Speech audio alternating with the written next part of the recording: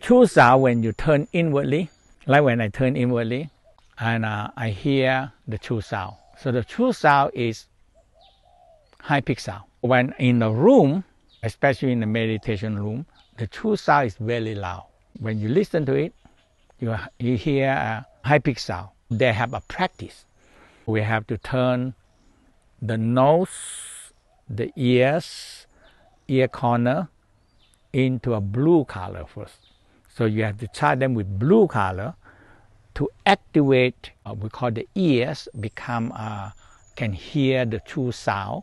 The ears have to be trained and charge them with blue light. We teach them in the lesser greater and greater Kan and Li. The meditation we also teach the people because it's a basic they need to turn inwardly. And when they turn inwardly, they hear the true sound.